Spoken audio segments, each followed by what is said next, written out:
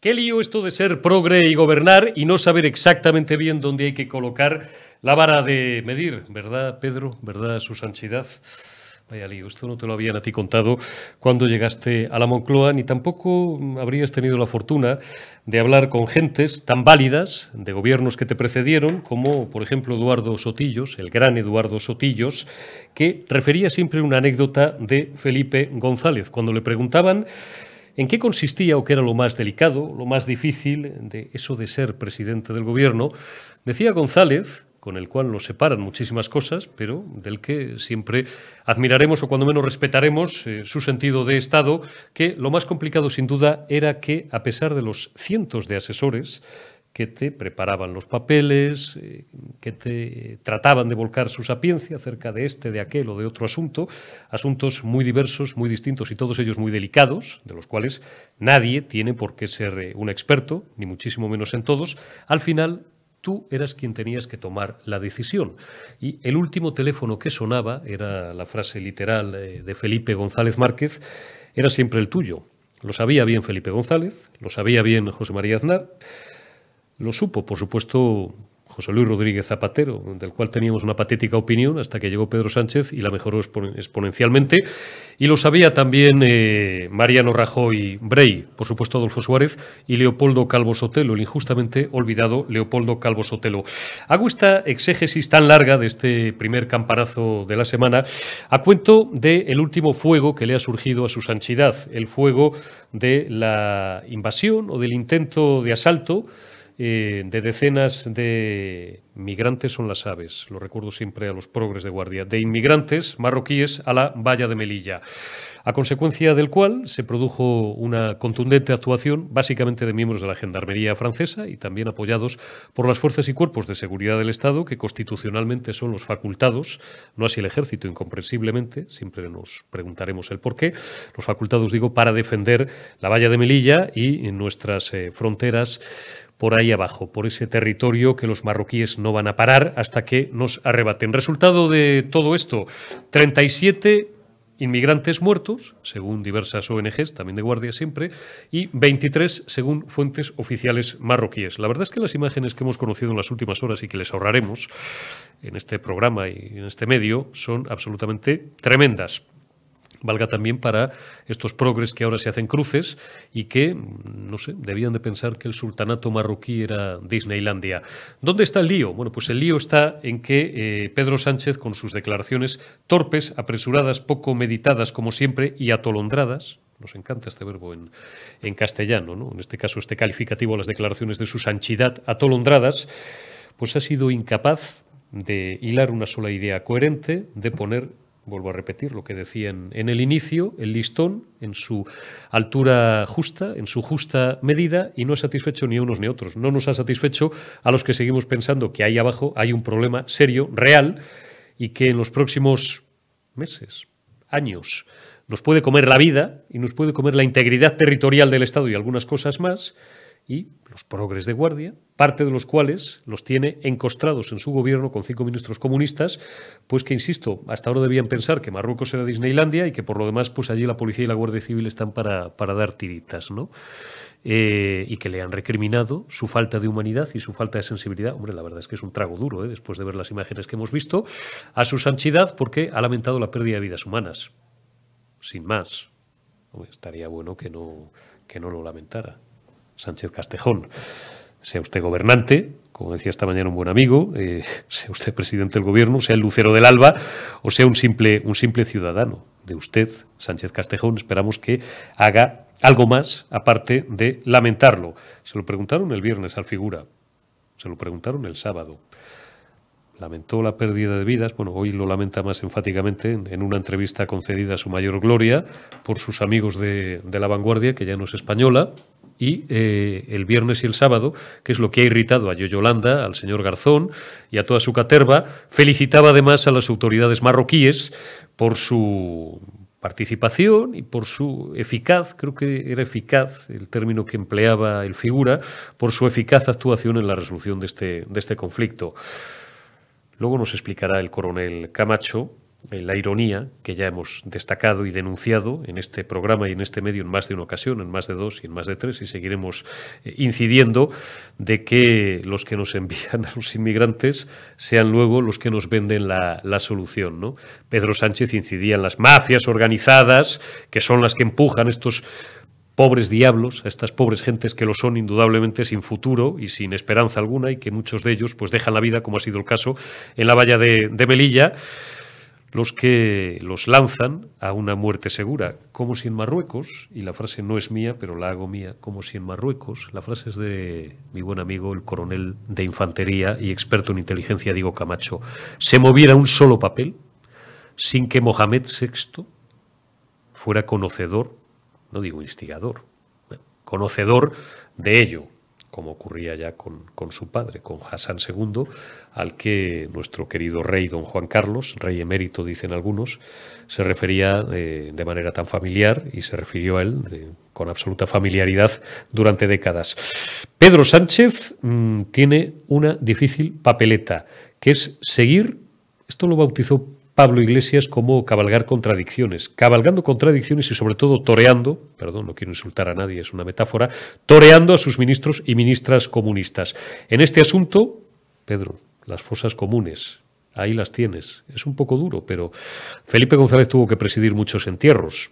Mm, lo hubieras pasado peor en los 80 y en los 90. Créeme que González y Aznar y Suárez te podrían dar muchas clases. No pienses que, tu posición es la peor de todas. Torear contradicciones, cabalgar contradicciones, Pedro, ¿cómo vas a tener que cabalgar contradicciones en la semana que arrancamos ahora?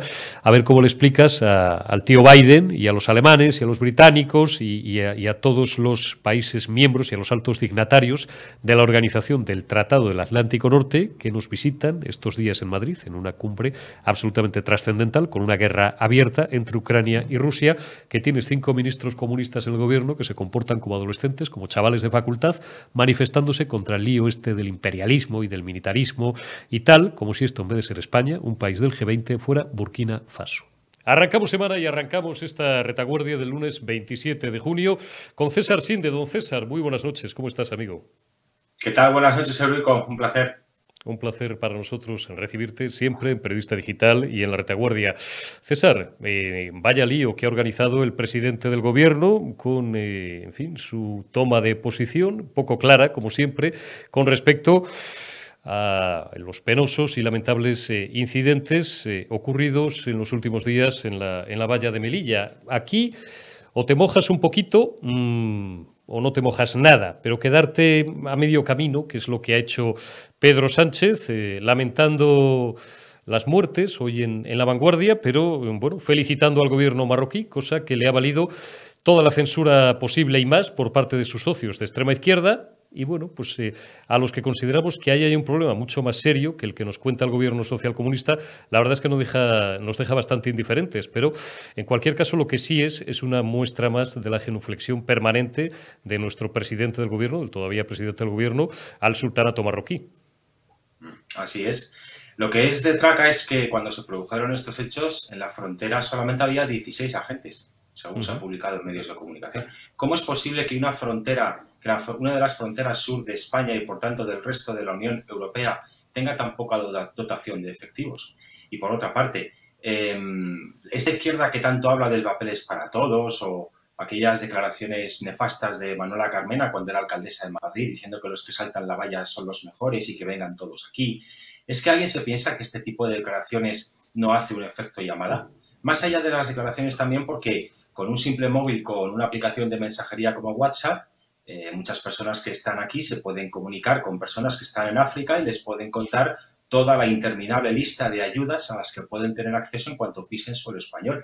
Eso es lo que provoca el verdadero efecto Yumala. Más allá de que también hay unas mafias que se lucran con ese tráfico de personas, por supuesto.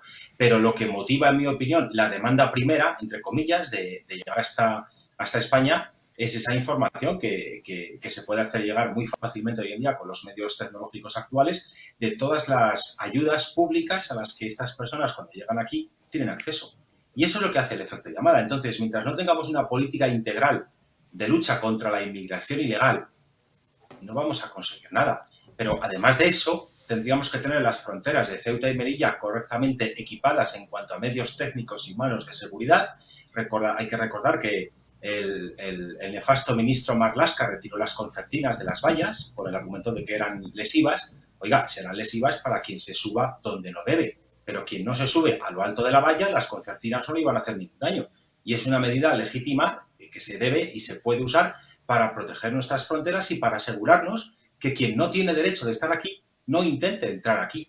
Es que los países no tenemos que tener ningún tipo de complejos en defender nuestras fronteras, en tener una política de inmigración que prime la llegada de personas con alto valor añadido para nuestra sociedad, por supuesto, y que haga un control riguroso para que todas aquellas personas que quieran entrar solamente puedan hacerlo de forma legal y solamente si es que nosotros tenemos esa necesidad de que esas personas entren para, por ejemplo, nuestro mercado laboral. Pero un país que no cuida sus fronteras y que hace una política del, la política del llamado papeles para todos, eso es una política suicida como país. En África, por desgracia, viven, viven 1.200 millones de personas y casi todos ellos en unas condiciones materiales pésimas. Pero en España, por lógica, no podemos admitir que vengan aquí 1.200 millones de personas. Por tanto, en algún momento habrá que poner un corte, habrá que poner un punto en el cual no admitamos más personas, porque estas personas cuando llegan aquí, ¿qué traen? Porque a los, a los inmigrantes que vienen, por ejemplo, de Iberoamérica en, avión, se les exige una serie de requisitos. Eh, venir con, eh, con, dinero en el banco, con un billete de ida para poder regresar a sus países, etcétera, etcétera. Estas personas que llegan o que pretenden llegar a España saltando una valla de forma ilegal y en muchos casos de forma violenta y en muchos casos agrediendo a nuestros agentes de la Guardia Civil, por cierto, una vez que están aquí, habrá que atenderles, habrá que darles medios. Eso tiene un coste. ¿De dónde sale todo ese presupuesto? Lógicamente de los impuestos. No, está, está, está absolutamente claro. Tú dices con dinero en el banco, con billete y con un contrato de trabajo. Es decir, a todos estos que nos recuerdan eh, esa, esa historia reciente de, España, en la que bueno, pues, eh, llegamos a tener más de dos millones de compatriotas trabajando en, Alemania, en Francia, en Suiza, etcétera, etcétera.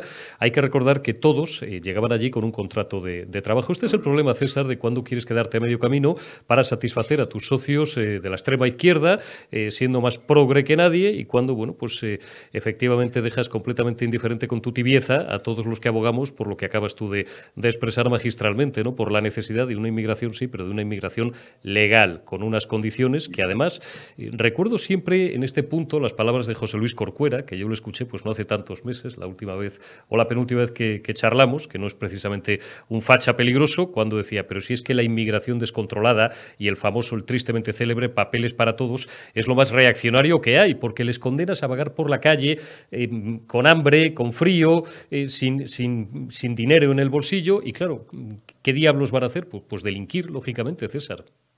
Sí, es que es así, es que no hay más eh, política en relación a la inmigración que hacer una política tendente, en primer lugar, a imposibilitar y, si no, a dificultar todo lo que se pueda la llegada de personas de forma ilegal a España. Pero mm, sean de África, sean de otras partes del mundo, no es una cuestión de raza o de color de la piel, ni incluso de religión, no va por ahí. Va por algo tan lógico como que o controlamos eh, la inmigración ilegal y, a ser posible, acabamos con ella, o nos va a generar unos problemas enormes de convivencia, de gasto público y de integración de todas esas personas. Y es que esto no es racismo, esto es pura lógica. Es decir, que un país apueste por una inmigración legal, por una inmigración ordenada y por una inmigración de personas que tengan valor añadido por su formación, por su trayectoria profesional y que quieran venir a España a trabajar y a emprender, eso no plantea ningún problema. En Estados Unidos eh, las personas que quieren ir para emprender, que tienen capital, que tienen ideas, que tienen empresas, el gobierno norteamericano no dificulta la entrada de ese tipo de personas porque ellos también salen ganando. La política de inmigración también tiene que tener en cuenta los derechos o, los intereses de España como país. Solo tenemos que tener en cuenta los intereses de las personas que pretendan venir aquí. Oiga, ¿y los intereses de los españoles qué pasa? Y los intereses de España como país, ¿qué pasa? Y el aspirar a que tengamos una inmigración que una vez que llega a España sea capaz de subsistir por sus propios medios y que no tenga que recibir ayudas que salen del bolsillo de los contribuyentes, eso no es legítimo plantearlo. Yo creo que tiene toda la lógica del mundo, porque hay muchas personas en España que han estado décadas trabajando y cotizando que al llegar a su jubilación reciben una pensión exigua y eso es un hecho que ocurre, que hay otras personas que entran a España, lo hacen encima de forma ilegal, no han cotizado jamás y encima reciben ayudas públicas.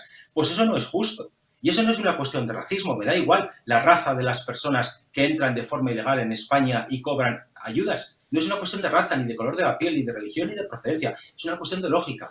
Si a todo inmigrante ilegal que llega a España le permitimos de alguna manera regularizarse, establecerse y encima le damos ayudas, eso lógicamente va a provocar un efecto llamada, porque ese inmigrante o esos miles o cientos de miles de inmigrantes que se benefician de esas ayudas tienen un teléfono con una aplicación como WhatsApp y se lo cuentan a sus familiares que están en sus países de origen. Y en esos países de origen dicen, anda, pues yo también quiero. Y eso es lo que provoca el verdadero efecto llamada. Está, está, absolutamente claro. El problema de quedarte, vuelvo a insistir, a medio camino, como en, este y en tantos otros asuntos, como hace también el Gobierno, por ejemplo, en esa cumbre de la Alianza Atlántica, eh, para la que ya hemos entrado en, en, la cuenta atrás, que tendrá lugar en los próximos días 29 y 30 de junio, pasado mañana miércoles y el jueves 30 de junio. Está Madrid tomado, las medidas de seguridad son absolutamente excepcionales, eh, por encima de la propaganda gubernamental, que parece que también es la primera cumbre ¿no? de estas características que, tiene lugar en, Madrid. Hombre, yo que ya tengo algunos años, pues recuerdo la cumbre sobre Oriente Medio en 1991 y algunas otras, ¿no? Pero bueno, esto, esto es como eh, que todos los veranos hace un calor de la leche y te abren todos los telediarios de las cadenas generalistas, de las cadenas que tratan a la gente como si fuera menor de edad, diciendo es la ola de calor más brutal en los últimos 70 años. Bueno, pues esta es la cumbre más importante en la historia de, de, Europa y de España y del mundo y, y de la galaxia. Bueno, es una cumbre muy importante. Además, resulta que tenemos una guerra entre Ucrania y Rusia, una, guerra que tampoco sé exactamente, como dice el señor Borrell, si es el conflicto más grave que, eh, al, que, al que hacemos frente después de la Segunda Guerra Mundial. Parece que no ha existido nunca, no ha pasado nada en Afganistán, ni pasó nada entre el año 91 y 1995 en los Balcanes, pero bueno, venga, vamos a aceptar que hay una guerra tremenda, que lo es, eh, en, en, suelo ucraniano, después de, de ser invadidos por, por Vladimir Putin, ¿no? Y resulta que tenemos, César, el pasado fin de semana, a cinco ministros comunistas Qué vergüenza por lo demás. Yo es que, lo vuelvo a repetir, ¿eh? un saludo a la afición que, que, le parezca siempre muy extremo esto que digo. Los comunistas tendrían que estar fuera de la ley. Bien, dicho lo cual, qué vergüenza de cara a nuestros aliados y socios europeos no ya el tener comunistas en, el gobierno, sino el que cinco figuras se manifiesten el pasado domingo, creo que fueron 2.000 personas o 2.100 personas, contra la cumbre de la OTAN como si fueran chavales de facultad que luego se van a tomar las birras y se van a hacer botellón a los bajos de Horrera o a donde les, a donde les dé la gana.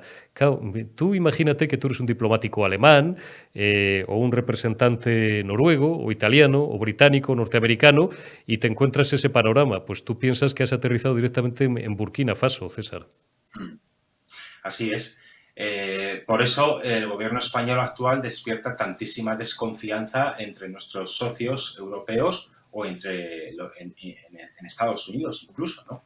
Biden al final, puesto que viene a Madrid, no tiene más remedio que reunirse con el presidente del gobierno del país que le recibe por una cuestión protocolaria, pero estoy seguro de que si esta cumbre no se celebrase en Madrid, se celebrase fuera del territorio español, estoy seguro de que Biden no le haría el más mínimo caso a Pedro Sánchez. Hmm. No, le, no se reuniría con él, ya lo vimos en cumbres anteriores, cómo tenía que ir Pedro Sánchez asaltándole por los pasillos para caminar al lado del presidente norteamericano durante 40, 50 segundos o un minuto y luego vender a los medios de comunicación que habían tocado nada menos que tres o cuatro temas, las relaciones hispanoamericanas, la política en Iberoamérica y no sé qué más eh, absurdeces dijo en ese momento el presidente del gobierno. ¿no? Pero es que es muy cierto, si tenemos en el gobierno de España a personas que ideológicamente se declaran enemigas de la OTAN y de Occidente, pues eso lógicamente no deja en muy buen lugar a España como país por, en razón del tipo de personas que tenemos en el gobierno. No hay equiparación en ningún otro país de la Unión Europea ni, de, ni integrante incluso de la Alianza Atlántica, no hay nadie que sea de una ideología tan extrema y que esté en el gobierno. Y eso es lo que genera desconfianza, eso es lo que hace que a España, en muchas de las reuniones que se están convocando en la escena internacional, se la deje de lado. ¿Por qué? Porque tenemos, porque Sánchez, mejor dicho, Pedro Sánchez tiene a unos socios de gobierno que ideológicamente son putrefactos, porque el comunismo no es más que una ideología putrefacta, como muy bien has recordado tú, que debería estar prohibida en España, como está en Alemania, donde no se permiten países, eh, partidos comunistas, o en, la en los países de la antigua Europa del Este, en Polonia, por ejemplo, háblales tú del comunismo. Y todas las personas que vivieron bajo la dictadura comunista y que lo sufrieron, y lo recuerdan muy bien, no quieren el comunismo ni en pintura. Pero es que pasa lo de siempre. Ahora que en Colombia ha ganado las elecciones un terrorista, que eso es lo que es el señor Petro, ¿verdad? Pues veremos a ver cuánto tiempo pasa hasta que cientos de miles de colombianos se vengan a España. Yo ya conozco personas que, tienen familiares en Colombia que ya me lo están diciendo, que están vendiendo todo para abrirse a Madrid o a España en general. Porque se, ven, porque se ven a, cero coma de, verse como los venezolanos. Eh, unos, unos minutos más, César, que no quiero hacer esperar eh, eh, mucho al, coronel Diego Camacho. Vamos a inaugurar, mm, esto le tenemos que dar forma, pero vamos a inaugurar por lo menos semanalmente una sección que se llame el, el Pijiprogre de la semana o el Rincón del Progre o, vamos a dar una medalla de chocolate al, al, progre más tonto de la semana. Y tenemos dos perlas que ha tenido a bien eh, el ponerme delante mi amigo César Sinde, porque uno no puede estar en todo ni, verlo todo. La primera, muy rápidamente, Merichel Batet, que se ha gastado uno y parte del otro en 17 Audis blindados. La presidenta del Congreso, como si no, como si no hubiera más necesidades en España. Y tienen, es una exclusiva de nuestros compañeros del debate. Enhorabuena, Antonio Naranjo, que es quien la firma. Merichel Batet adquirió 17 Audi de lujo para el Congreso, más caros que el coche oficial de Manuel Macron. Eh, mm. bueno, pues bien, ¿no? Decía ayer también el maestro Jesús Cacho, hablando de otra cosa, pero no me quiero ir del tema, robar, robar, robar, que, esto se va a acabar, César. Mm. Y no es culpa de la marca Audi. La marca Audi lo que tiene que hacer, que es su obligación, es venderle coches a quien se los quiera comprar. La culpa es de la señora Batet por comprar un tipo de coche que es evidentemente un coche de lujo, tal y como está la situación económica en España, con millones de españoles que no llegan a fin de mes, con millones de autónomos que están expoliados a impuestos, como el resto de los españoles, por cierto, cuando pagamos 52 de cada 100 céntimos de combustible que echamos son impuestos. Estando así la cosa, llega la señora Batet y no se le ocurre otra cosa que mm, renovar la flota de vehículos oficiales del Congreso de los Diputados eligiendo un modelo de lujo. Oiga, señora Batet, Mm, para transportar de forma correcta y cómoda a, sus señorías, también existe, por ejemplo, el Volkswagen Passat, que es un coche que cuesta casi eh, 25.000 euros menos por unidad que lo que cuesta un Audi A6. Van igual de bien. Por cierto, el, Volkswagen Passat es el coche que suele usar la presidenta de la Comunidad de Madrid, Isabel Díaz Ayuso, para sus desplazamientos. Un coche amplio, un coche cómodo, un coche seguro, un coche para transportar a personalidades con garantías, pero que no es un coche de lujo. Por tanto, ahí se ve, hay otros modelos dentro del grupo Volkswagen como el Skoda Super, que también es un coche muy amplio en cuanto a sus dimensiones, que permite viajar cómodamente a, dos, tres personas en, la parte trasera del vehículo y que también se puede, pero no hace falta elegir un Audi A6 con todos los extras de equipamiento opcionales además, como se dice coloquialmente, alicatado hasta el techo a opcionales. Pues ahí se ve el despilfarro, pero es que si aplicáramos la misma filosofía que se aplica a la gente en el sector privado, estando el patio como está, pues no se renuevan los coches oficiales, se arreglan los que se tengan, que es lo que hacemos los españolitos de a pie, y tiramos con el coche que tenemos que eso es lo que hacemos los españoles del sector privado. Efectivamente, que eso, es lo que hacemos, eh, bueno, voy a hablar como hablan ellos, ¿no? Detesto el término, que eso es lo que hacemos los obreros, como César Sinde y yo, que somos obreros de la información. La última, muy rápida. Prepárame, Omar, la, foto de, otro figura, otro, otro artista de la pista, el tío Rejón, que eh, la ha debido de subir eh, en sus redes, Ahí tienen al figura, hemos preguntado cuánto vale la barbacoa, alrededor de 500 pavos, lo cual, bueno, pues, mm, oiga, cada uno se gasta la pasta en, lo que quiere, ¿no? Pero digo, eh, fíjate, Garzón tiene que estar a punto de arrojarse desde la primera ventana. ¿Por qué? Bueno, pues porque el tipo se está haciendo una barbacoa y se va a poner púa, deducimos a carne, con su familia o sus amigos o con quien le dé la gana, y luego además eso tiene que ser contaminante de la leche. No sé el planeta si, si no va a protestar, César, por, por la barbacoa esta de, de Íñigo Rejón. Es la, incoherencia que hace la izquierda, que prescribe a los demás cómo tenemos que vivir para luego ellos no tomar esa misma medicina. esa es su, eh, su falsedad, ese es su cinismo, esa es su hipocresía. Que la izquierda defiende un modo de vida porque presuntamente es mejor para el medio ambiente, pero ese modo de vida para los demás, nunca para ellos. Y ya está bien, de, criminalizar el estilo de vida que cada cual quiera llevar y de usar eso como pretexto para imponer impuestos o para eh, atacar a todo un sector productivo, como hizo el señor Garzón diciendo que la carne española era de mala calidad. Mm. Fíjate tú cómo están los ganaderos de fastidiados a problemas por todos lados, que no le compran su producción a precio de coste, que no tienen eh, cada vez los suministros de, pienso, de, todo lo que necesitan de medicamentos, todo les, les sube y les llega a ayudar, entre comillas, un ministro de, comunismo, que no de consumo, para atacar el producto que ellos venden, como son los ganaderos y los productores de carne en España. ¿no? Bueno, pues es que ya está bien de decir a los demás cómo tenemos que vivir para luego ellos vivir a cuerpo de rey. Y ya está bien de atacar la libertad de cada cual de consumir carne o no, para luego ellos, de puertas para adentro, ya se ve lo que hacen. Es una hipocresía, es una falsedad absoluta. Completa y absoluta. Errejón, a Íñigo, uy, a Íñigo, Íñigo Rejón, Alberto Garzón, que vas. Don César Sinde, un placer como siempre, arrancar la semana y arrancar esta retaguardia con usted. Cuídate mucho y hasta la próxima, amigo. Gracias, un fuerte abrazo, hasta la próxima. Un abrazo, César. Saludamos ya a una de las estrellas de la retaguardia y de periodista digital televisión, siempre os agradecemos los cientos de miles de visitas con las que nos dispensáis cada vez que el coronel eh, Diego Camacho, el coronel de infantería retirado, Diego Camacho, nos, nos acompaña. Procuramos no abusar de su confianza, pero, bueno, pues hombre, la autocita siempre digo que es una horterada, pero eh, a, mayor, a, mayor agradecimiento a nuestro, a nuestro invitado, uno de nuestros invitados VIP, las tres últimas entrevistas que le hemos hecho al coronel eh, Diego Camacho en el último mes y medio, Juntas suman un millón y medio, un millón cien mil, un millón doscientas mil visualizaciones. Mi coronel, muy buenas noches, ¿cómo estamos?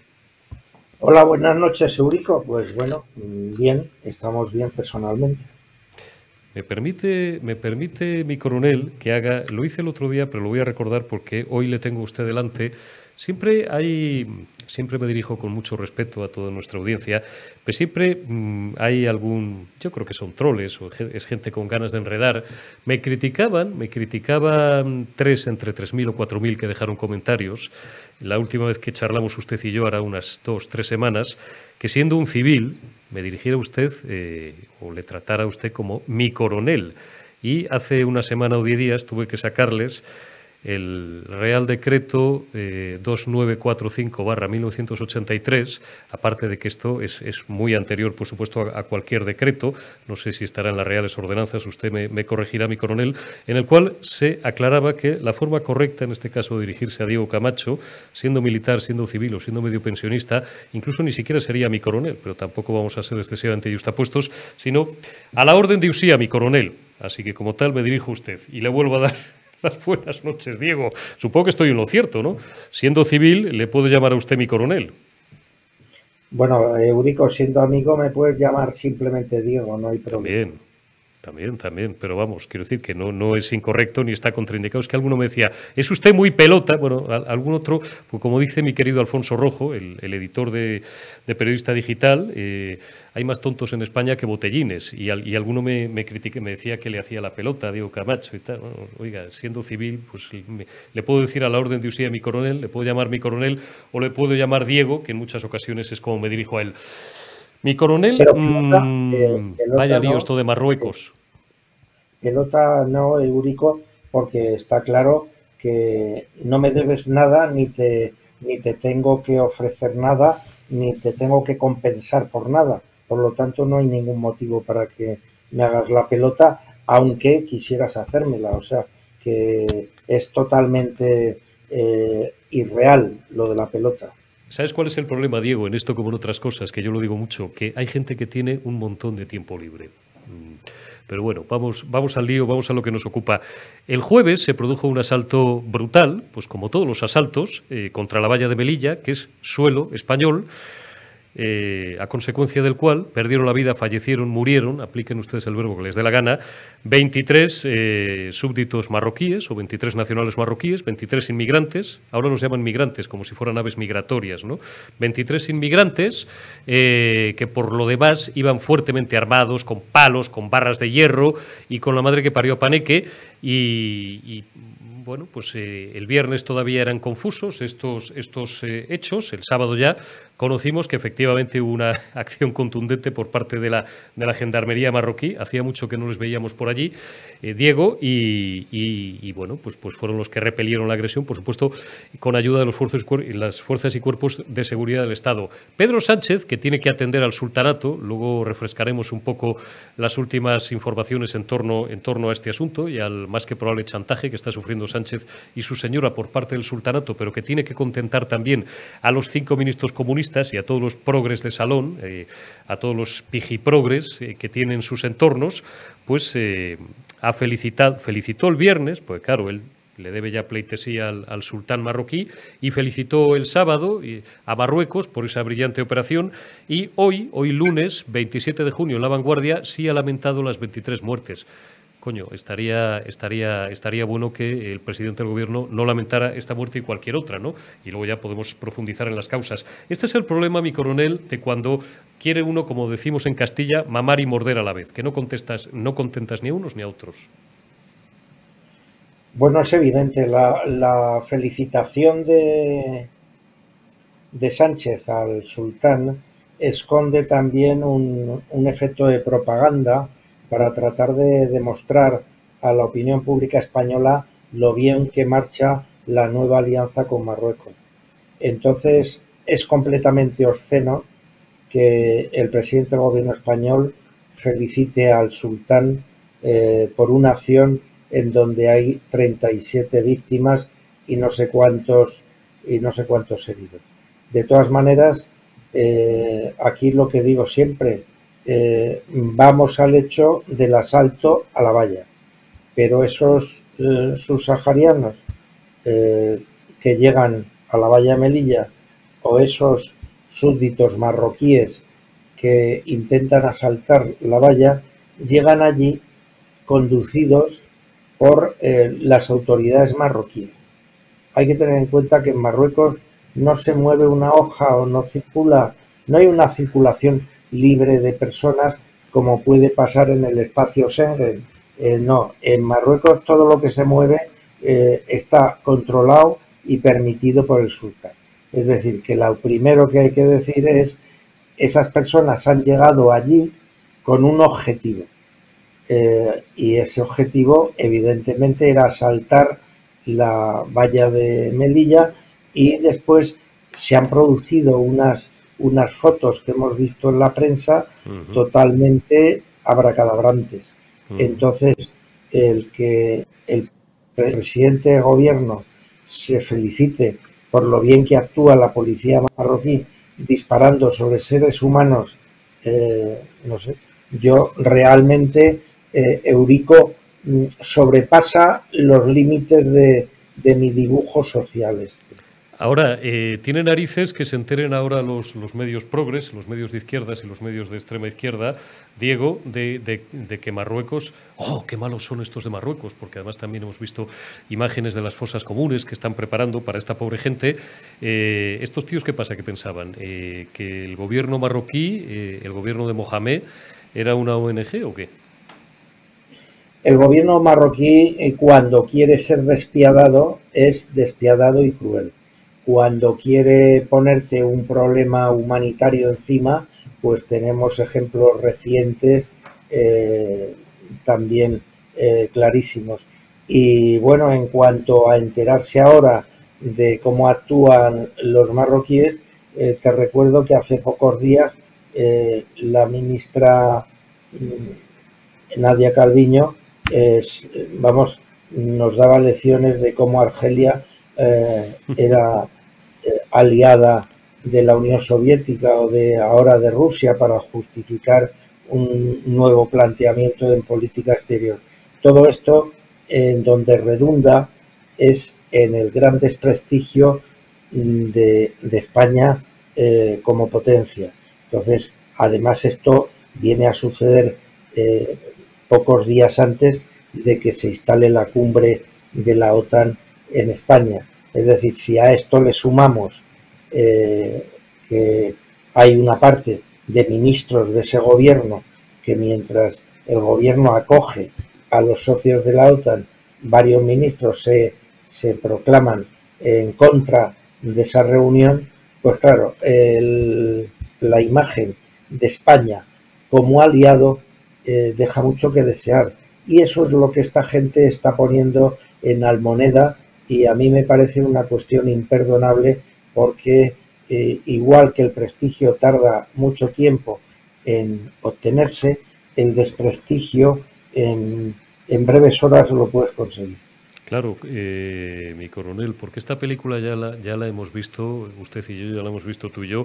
Eh, recuerdo para los más jóvenes, para los que tengan menos de 40 años, que un tío que fue secretario general de la OTAN, Javier Solana Madariaga, y también Mr. Pesc, lo que es ahora Borrell, ¿no? no sé si se llama igual o se denomina el cargo de otra manera, responsable de política exterior europea, eh, que fue ministro de Educación con Felipe González, con San Felipe González, y antes pues fue un conocido activista y, agitador, no sé si se había dado unas vueltas ya por el estado de Virginia para, para aquella época o, no, hasta ahí, hasta ahí, yo creo que. Eh, eh, eh, hablamos suficientemente claro, desde que salía con pancartas en las manifestaciones de OTAN no bases fuera y llegó a ser secretario general de la OTAN. ¿Tú te imaginas, Diego, a Yoyolanda dentro de, no sé, 15 años, por aquello del rollo inclusivo y tal, siendo secretaria general de la OTAN? Bueno, pues, oye, si, vimos a, Solana en aquellas manifestaciones 25 años después ordenando el bombardeo de Kosovo, ¿por qué no vamos a ver a Yolanda Díaz dentro de 15 o 20 años eh, en Bruselas, de, sustituta del señor Stoltenberg. Hombre, se hace una, una profesión de vocación tardía convincente como hizo el señor Solana, pues eh, lo puedes ver. También puedes, eh, han estado en los últimos días dando como hipótesis la nueva ocupación de Sánchez también en ese cargo de secretario general de la OTAN o de, eh, o, de presidente del Consejo Europeo y tal. Entonces, yo lo único que puedo decir es que si el señor Sánchez eh, fuera el nuevo secretario de la OTAN, es indudable que el señor Putin tenía una enorme influencia en el seno de la OTAN. ¿Por qué razón? Bueno, pues por la razón que sería la mejor forma de destruir la OTAN. ¿Porque es, porque es Gaffel figura o porque su inutilidad en los asuntos de gobierno es cosa aprobada, ¿no?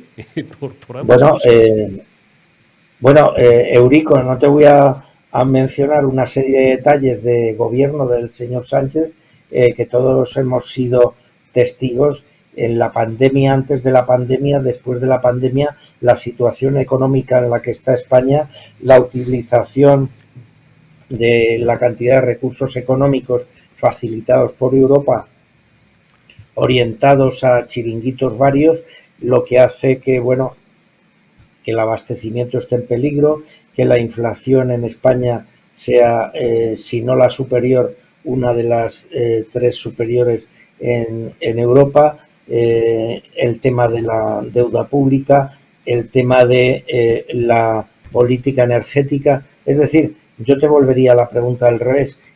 ¿Tú me puedes decir alguna política implementada por el señor Sánchez eh, que haya sido beneficiosa para España? No para él, sino para España. Sí, yo, te puedo decir una, para España no, para ellos.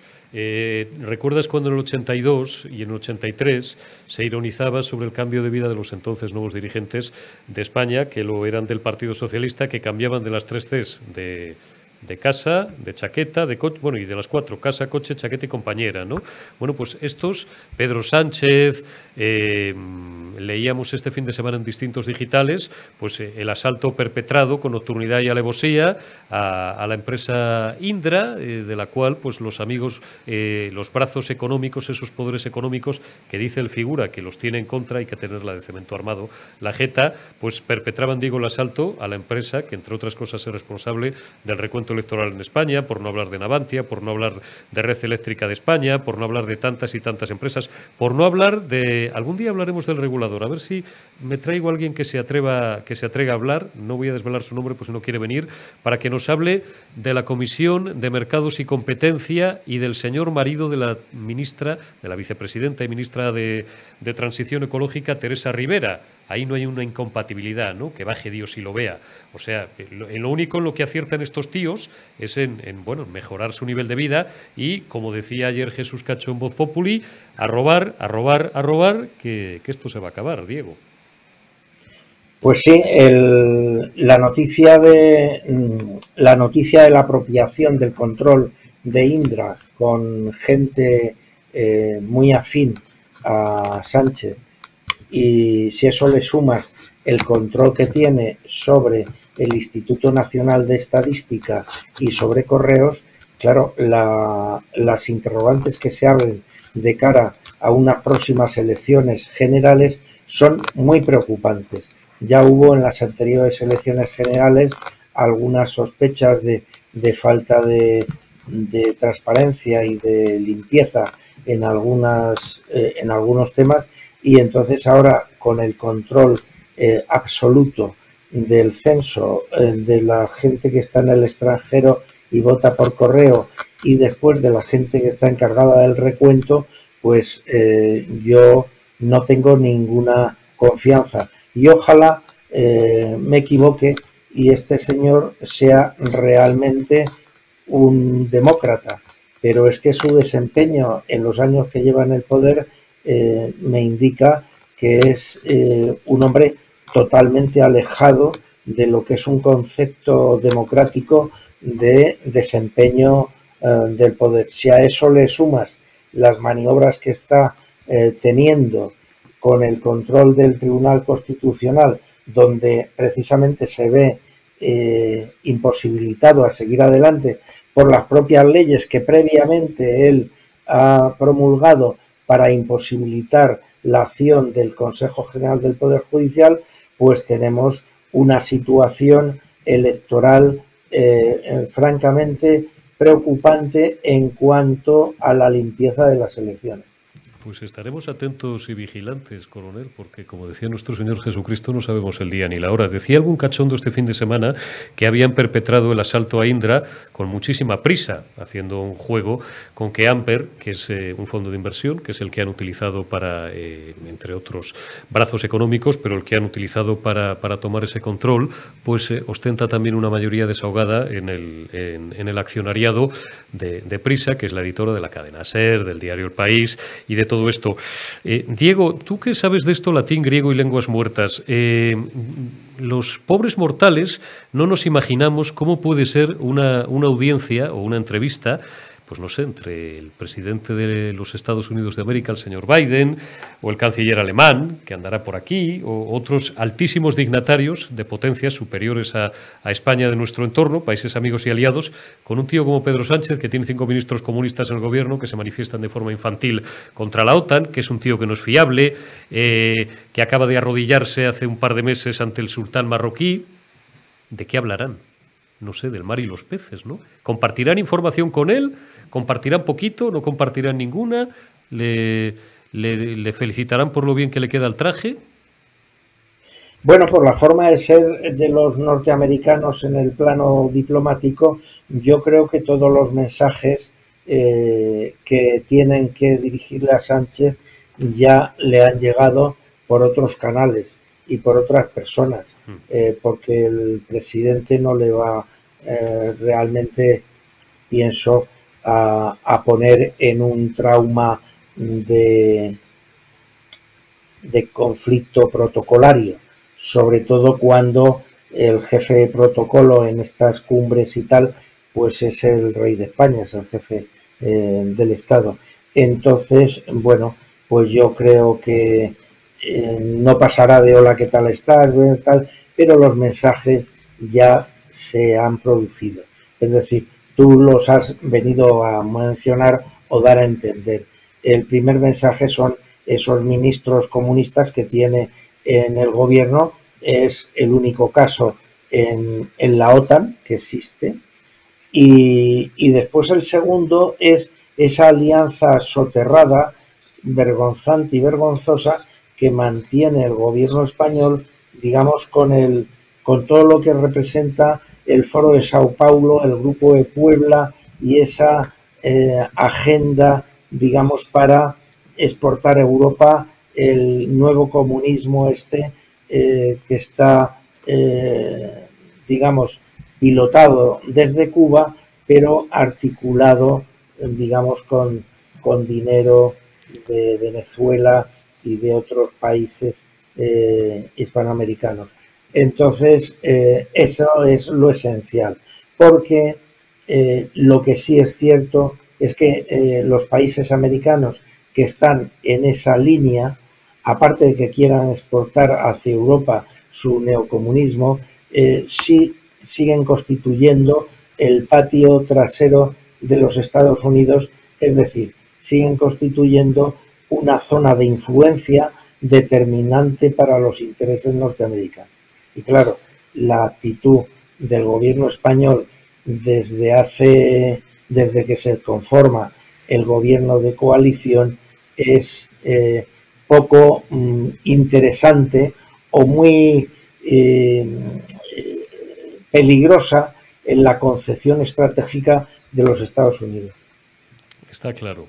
Coronel, que me sigo yo despertando todas las mañanas desde hace un par de meses, desde que charlamos la, primera vez en Periodista Digital, con cierto miedo, porque mm, más pronto que tarde, pero algún día será, de verdad, algún día será y lamentablemente lo veréis y lo veremos, eh, eh, aquel en el que conozcamos las auténticas y poderosas razones que han eh, obligado a Pedro Sánchez a arrodillarse eh, no sabemos si tanto por él o por su señora o por los dos o tal, ante el sultanato, el sultanato marroquí. Diego, las causas reales y poderosas, que no son cuatro cursos de formación, ¿eh? lo volvemos a repetir, eh, que han obligado a Pedro Sánchez a variar en horas 24 la política española sobre el Sáhara en los últimos 47 años. Desde luego, eso es así y no hay, desde que hablamos por primera vez Eurico no ha aparecido ningún relato que permita dulcificar el asunto y claro, eh, el Pedro Sánchez es el primer interesado en que eso no se sepa, puesto que si no habría tenido una conferencia de prensa, habría tenido una comparecencia en el Congreso de los Diputados donde hubiera explicado que realmente a él no le está chantajeando nadie y lo pudiera, eh, y lo pudiera atestiguar. Entonces aquí solo se ha obtenido silencio, desinformación y después, pues lógicamente, como no es nada comprensible, pues uno tiene que eh, manejar lo que es la hipótesis más probable y la hipótesis más peligrosa. La hipótesis más probable es que se ha desvelado ya, además por el portavoz de Unidas Podemos, de que eh, Sánchez estaba siendo chantajeado por el sultán y claro, queda una segunda eh, parte que es la acción de la oposición, que debe estar en Belén con los pastores, que no obliga al presidente Sánchez a comparecer en el Congreso y explicar en qué términos, en qué términos se produce ese chantaje. O el señor que eh, James Asens, que es el que es el origen de la noticia, también explique en el Congreso a ver de dónde le viene esa información y qué es lo que sabe. Es decir, en todo caso, los ciudadanos españoles están siendo mantenidos al margen de un gravísimo problema de Estado. Porque si funciona la hipótesis más peligrosa y es que realmente esté bajo chantaje, Claro, el que una nación tenga a su primer ejecutivo eh, bajo chantaje, pues permite todos los desmanes en contra de los intereses españoles. Y, ojalá pudiéramos un día salir aquí y decir que todo es falso, pero que el no salir y no poderlo decir no es porque nosotros no queramos, es porque el señor Sánchez eh, sigue viviendo en su burbuja y las cosas que pasan como si a él eh, no le afectaran y cuando realmente le están afectando directamente lo que pasa que quien sufre el dolor somos los españoles. No te preocupes, Diego, que ya alguien nos hará llegar los papeles, vamos, a nosotros o a cualquier medio libre, que aunque pocos, tampoco somos, somos los únicos, ¿no? Ya sabes tú cómo, cómo funcionan estas, estas cosas, Diego, y se acabará sabiendo. Estaremos y seguiremos atentos a la pantalla. Diego Camacho, coronel de infantería, experto en inteligencia, cuídate mucho y hasta la próxima. Un abrazo, Beto. Hasta la próxima. Vamos evocando ya la recta final de esta retaguardia, de esta primera retaguardia de la semana, de este 27 de junio de 2022. Y lo hacemos ya con Fran Blanco Argibay. Fran, muy buenas noches. Muy buenas noches, Eurico. Escuchando atentamente al coronel Ausía eh, todo lo que dice, y yo también estoy convencido de que más pronto que tarde eh, conoceremos todos los detalles de, de, fin, de la familia Sánchez y, lo que ha ocurrido, lo que está ocurriendo en Marruecos. ¿Veis? Fran también es un civil y también se dirige al coronel como Usía y como mi coronel. Y a Fran Blanco Argibay, aunque solo sea por el apellido que lleva, no creo que nadie le vaya a discutir un cierto conocimiento de las ordenanzas militares. Oye, Fran, ¿te han parado esta mañana, no sé, está Madrid tomado, ¿no? Está lleno de de, policías, de militares, con el arma larga, eh, en fin, vamos a estar a la altura, parece, ¿no? Aunque esta cumbre de la OTAN, que medios gubernamentales se empeñan en vendernos de forma propagandística, bueno, como la cumbre del siglo, pues eh, claro, ya hemos incidido en ello hasta la saciedad. Los dignatarios extranjeros que van a pasar por aquí estos días ya han recibido instrucciones de como hay cinco ministros comunistas medio tontos, con ese revolucionarismo infantil de, facultad que se manifiestan contra el propio gobierno del que forman parte, como fue el caso el, domingo, pues que, que no hablen absolutamente de nada, porque además les van a espiar hasta en el cuarto de baño, Fran. Sí, eh, Sánchez se está comportando como eh, aquellas familias que esconden a, esa parte de la familia que no es presentable, en fin, quedando siempre como un, como un paleto y además intentando apuntarse un tanto que, que no le corresponde, igual mm. que eh, falsificó su, tesis diciendo que la había hecho él y se demostró, está demostrado que no la hizo él, esta cumbre que se va a celebrar en, esta semana aquí en Madrid no es gracias a Sánchez, porque esto se está diciendo muy poco. En el año 2018, Eurico, el entonces todavía eh, secretario general de la OTAN, Stoltenberg, vino a España en el mes de enero, se entrevistó con el entonces presidente del gobierno, que era Mariano Rajoy, con su ministra de Defensa, que era María Dolores Cospedal, y ahí acordaron verbalmente que la cumbre se iba a celebrar en España. O sea que fue gracias al Partido Popular de entonces que hoy se celebre la cumbre de la OTAN. Eh, porque por aquellas fechas, eh, nuestro querido presidente del gobierno, en el año 2014, que ya era secretario general del Partido Socialista, pues andaba diciendo en entrevistas que el ministro, que el Ministerio de Defensa, Eurico, sobraba, que había que eh, aniquilarlo, que, que tenía que desaparecer. Eso es lo que decía Sánchez en el año 2014. Y hoy se va a convertir, unos años más tarde, en el presidente del gobierno cuyo eh, presupuesto de defensa más se va a incrementar en toda la historia de la democracia. Eh, en las últimas semanas hemos visto ya a la ministra pedir un desvío en gastos de defensa de 3.000 millones. Ojito que el presupuesto de defensa son 12.000 millones, o sea, está pidiendo un incremento de cerca de un 25%. Mm. Pero claro, eh, este es un presidente que un día dice una cosa y no tiene ningún recato en decir eh, lo contrario si le conviene a él. Tenemos un presidente que inauguró eh, su legislatura, acuérdate, con el barco este lleno de inmigrantes, el Open Arms, lo acogió, un país quería acogerlo, bueno, pues, pues él se apuntó el tanto de, de, fin, de ser un país humanitario que recibía a los inmigrantes y hemos visto cómo este fin de semana, con toda su cara dura, el presidente del gobierno dice que el asalto a la valla de Melilla, que ha tenido mm, cerca de 40 muertos, hemos visto a los pobres esas imágenes del horror. Eh, hoy estamos viendo cómo les están enterrando como si fueran animales, sin identificarlos ni nada. Bueno, pues eh, el presidente del gobierno dice que ese asalto se ha resuelto bien por parte de Marruecos y tiene la caradura eh, de contarlo. En cuanto a la OTAN, pues yo soy partidario, por supuesto que se celebre aquí.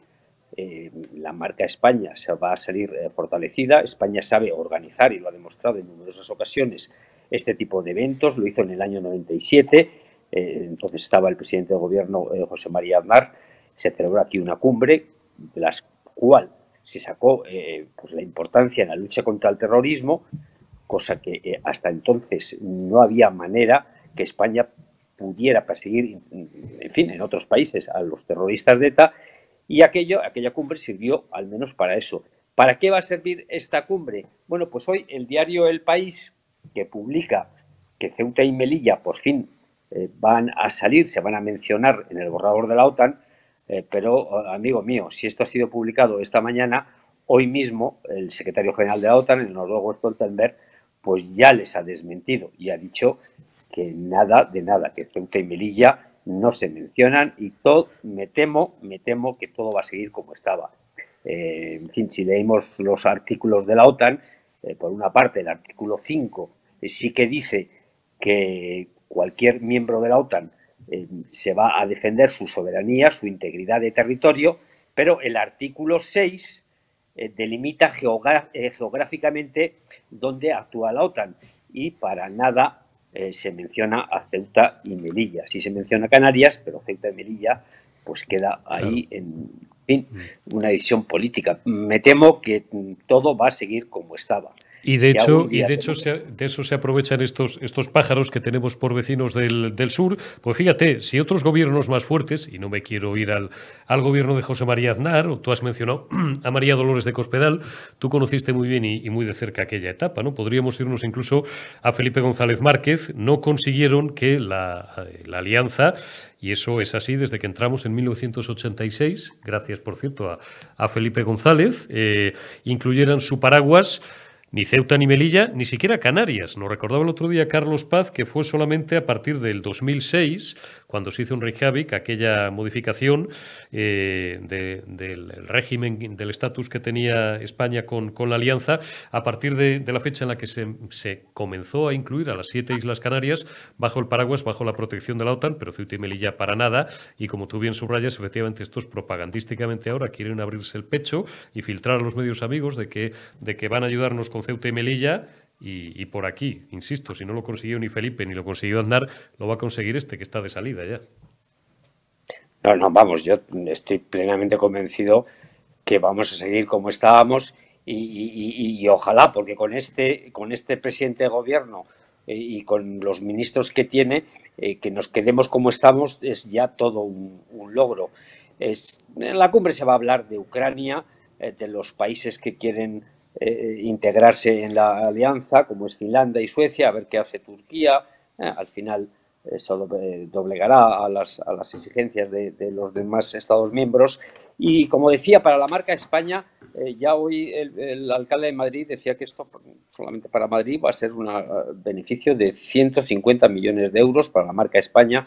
Bueno, hoy ha venido ya la mujer de, de Joe Biden, Jill Biden, eh, ha estado con la reina Leticia, ha, estado haciendo diversas eh, visitas a, centros de lucha contra el cáncer, eh, sitios de refugiados de ucranianos en, Pozuelo, van a ir a la granja, en fin, se van a celebrar muchas cenas en el Museo del Prado. Todo esto, que duda cabe, que es bueno para España, para Madrid, en fin, para todos los españoles eh, porque, bueno, nosotros sabemos organizar muy bien las, las, cumbres, los eventos internacionales, ya te he dicho que lo hemos demostrado en, numerosas ocasiones, pero en el aspecto que más nos interesa a España, como es la defensa de nuestro territorio, porque Ceuta y Melilla es como Ávila o, Cuenca, eh, me temo a mí que la cosa va a seguir igual.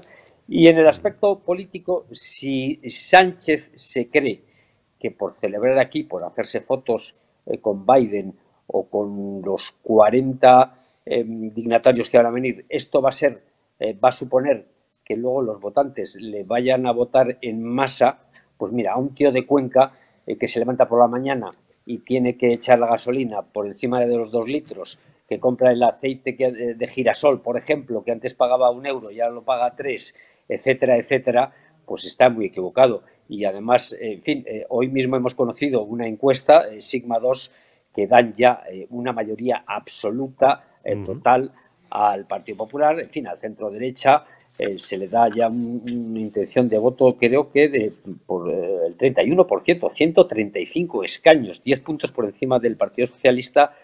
Y, en fin, la marea de centro derecha está ya llegando, son conscientes en Moncloa. Y bueno, ¿qué, ¿qué, están haciendo? Pues bueno, yo creo que ya lo habéis estado comentando con el con el coronel, eh, pues intentando quedarse con los resortes más importantes del Estado, como es el INE, como es Indra. Eh, hoy mismo creo que a, a, Tesla, que es una empresa eh, radicada en Cataluña, en Cataluña, el gobierno le ha concedido 500 millones de euros. En fin, están creando un Estado dentro del otro Estado y desde luego cuando los dirigentes del centro derecha, si Dios quiere, eh, pues lleguen a la Moncloa, eh, lo van a tener muy difícil, eh, en fin, desencajar las piezas que están montando este entramado oculto que está organizando Pedro Sánchez. Es, es tremendo. La verdad es que sí, Fran, pero nada que no tuviera ya que hacer José María Aznar cuando llegó al poder en 1996 y tuvo que desencostrar pues, pues toda aquella superestructura que habían creado 13 años y medio, casi 14 años de, felipismo. La verdad es que lo va a tener complicado Alberto Núñez Feijó y todo su equipo para, como tú bien señalas, eh, no solamente en, la Administración Civil del Estado, en la Administración Pública, sino en tantas y tantas empresas. Yo daba antes los nombres Red Eléctrica de España, Navantia, bueno, Intra, Indra la, última, la, empresa eh, tecnológica y de defensa y responsable, entre otras cosas, de la transmisión de datos eh, electorales en, España y tantas otras en las que Correos, eh, ¿por qué no? Correos, bueno, Correos es una, es una corporación, era, era o es un ente público, antes, antes era una empresa directamente pública en la que ha ido colocando sus amigos y, insisto, Feijo pues va a tener que entrar ahí con casi con el cuchillo, con el cuchillo jamonero, metafóricamente hablando, por supuesto. Fran Blanco Argibay, muchísimas gracias, buenas noches, cuídate y hasta la semana que viene. Un abrazo muy fuerte, Eurico. Un fuerte abrazo, Fran. Y gracias también a todos vosotros por habernos acompañado en esta primera retaguardia de la semana de este lunes 27 de junio. Mañana más volveremos y os esperamos en el mismo sitio a la misma hora en Periodista Digital. Cuidaos.